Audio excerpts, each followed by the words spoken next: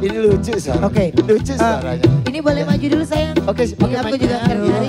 Ini siapa namanya Neng? Ya Koko boleh kecil dikit. Siapa namanya? ya ya. Ya, Ya, ya. Eh, Ya ya ya. Aku tadi sedikit sekilas ngelihat kamu, kamu tangannya ditutupin terus.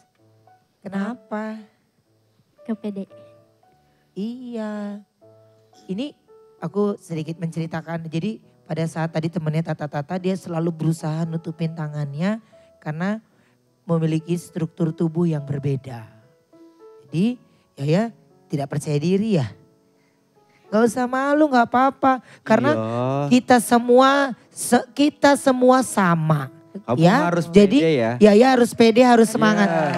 Ya, Ya ya. kalau ya ya. boleh satu- tahu Satu hal ya, kamu harus percaya diri. Lihat, Hmm. Sapri sama Kriwil aja percaya diri itu. Eh, eh, eh, kenapa bawa gua? Kenapa bawa bawa gua Pak Wendy? Iya Ya. apa-apa. Ini Ya, ya. biar kasih semangat. Kalau boleh tahu Yaya usianya berapa tahun? 21 tahun. Oke, aku boleh lihat.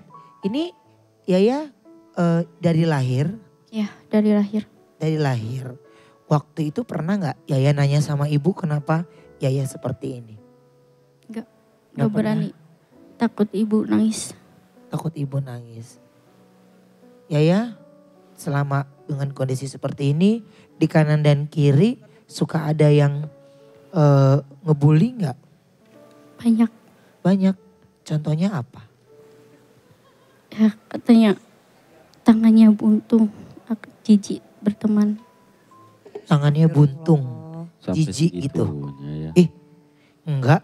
Kalau aku rasa justru mereka-mereka yang berbicara seperti itu, mereka-mereka mereka-mereka yang memberikan contoh yang menjijikan. Iya. Iya. Justru kamu ini adalah hebat karena yang eh Yaya kalau boleh tahu masih sekolah, Udah enggak. udah kerja? Enggak juga. Enggak. Enggak sekolah juga, Udah keluar. udah keluar. Kenapa? Udah lulus. Udah lulus. Lulus. Oke. Yaya tinggal sama siapa sekarang? Sama mama. Mama, papa? Iya. Sama mama papa. Mama papa. Oke. Ini mama papa masih bekerja? Papa masih bekerja kalau ada yang manggil. Emang papa pekerjaannya apa? Kadang di kuli bangunan. Kuli bangunan. Tapi sekarang enggak. Karena pernah jatuh dari bangunan. Kenapa? Jatuh. Pernah Jadi jatuh. kakinya Papa sakit. jatuh, kakinya sakit. Jadi papa berarti kondisi kaki papa tidak bisa berfungsi dengan baik. Ya, lemas. Yaya berapa bersaudara? Enam Enam bersaudara. Kamu anak ke ketiga. ketiga. Untuk keluarga di Yaya sendiri, untuk kehidupan sehari-hari bagaimana untuk perekonomiannya sendiri? Kecukupan aja. Iya. Yaya belum kerja sama sekali, Pernah kerja. Tapi Tapi kenapa? kerja di rumah makan. Cuman yang Yang Rumah Yaya? makannya nggak dengar apa? pada ciji gitu. Jadi nggak ada yang datang. Pada jijik, terus nggak ada yang datang. Iya? Iya. Emang Yaya tinggalnya di mana? Di Bagjesari, Mana itu ya? Di mana? Kijing, Majalengka. Majalengka. Majalengka. Oh Majalengka. Eh, Yaya, Yaya berarti Yaya eh, sekarang ini lagi eh, mencoba untuk bisa lebih percaya diri lagi gitu. Pertama kali percaya diri pede di sini.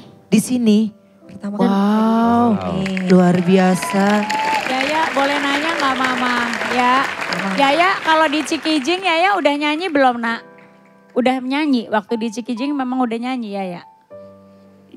Nyanyi kayak gimana kak? Nyanyi di Oh panggung-panggung. nyanyi? Enggak. Enggak kamu. Kalau nyanyi nggak cuman ikut marawis.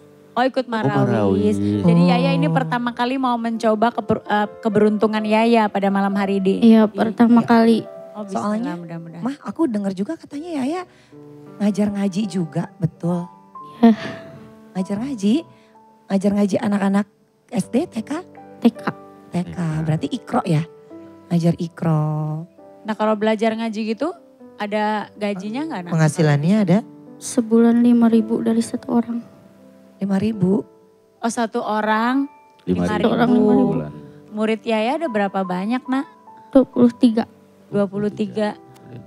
Alhamdulillah. Tapi ya, ya sebenarnya punya kebiasaan gak sih gitu misalkan menjahit kah atau apa yang memang Apa kamu yang Yaya, belajar gitu. apa yang Yaya bisa atau Iya. Yaya kuasai? Bikin kaligrafi.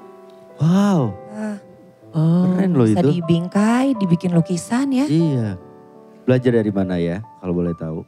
Sendiri. Sendiri. sendiri. Oke, Yaya pernah nggak mencoba apa yang Yaya bisa itu menjadi sebuah penghasilan untuk kamu sehari-hari? Ya pas waktu di pondok. Karena kurang biaya jadi sengaja bikin kaligrafi dan dijual ke anak-anak SD. Buat Waktu itu bekal. di- aku dijual berapa? 5 ribu, 3 ribu. Lima ribu. Lima ribu? Kaligrafi kayak apa nah lima ribu? Zaman Biasa. sekarang masih ada tuh kaligrafi. Mungkin dengan 5.000. keterbatasan alatnya mah. Iya, Oh. Jadi- medianya juga mungkin beda. Iya, oke.